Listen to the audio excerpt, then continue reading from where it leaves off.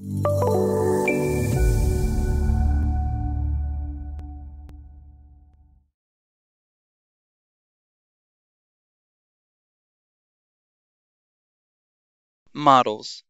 A design file is composed of one or more design, drawing, or sheet models.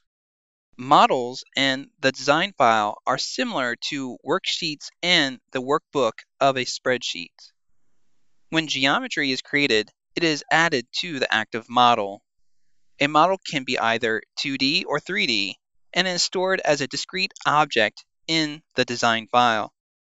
You can have an unlimited number of any model types in a DGN.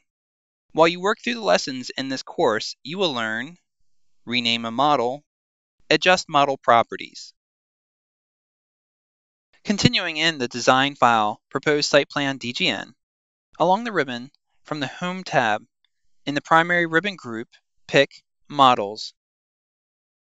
Design files are composed of one or more models. Our design file contains a single design model.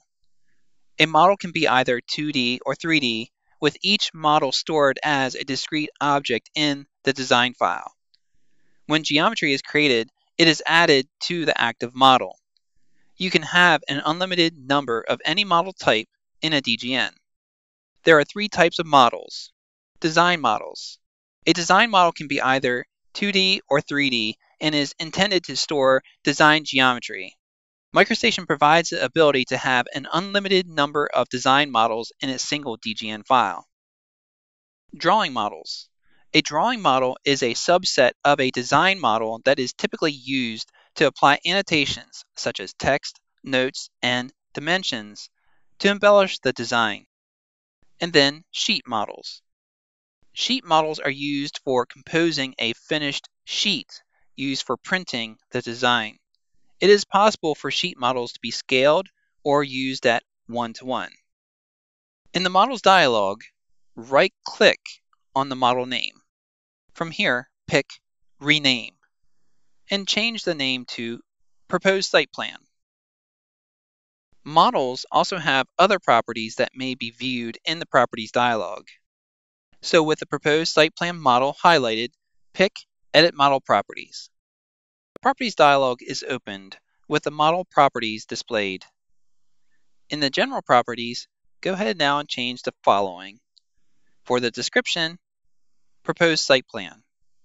And for the annotation scale, 1 inch equals 50 feet. These changes will take effect immediately. Continuing in the properties, go ahead and scroll down locating angle readout. Here, you can observe the values for direction base, direction mode, format, and accuracy that were set in the previous lesson.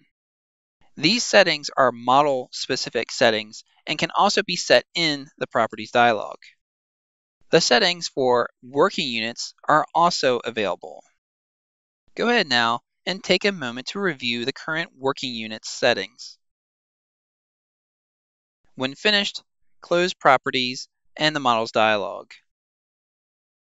In this lesson, you learn the role of models and how they relate to MicroStation design files. Models can be either 2D or 3D, will be a design, drawing, or sheet model, and are stored as a discrete object within the design file. It is also possible to have an unlimited number of any model type in a DGN. During this lesson, you renamed a model, and adjusted the properties of a model.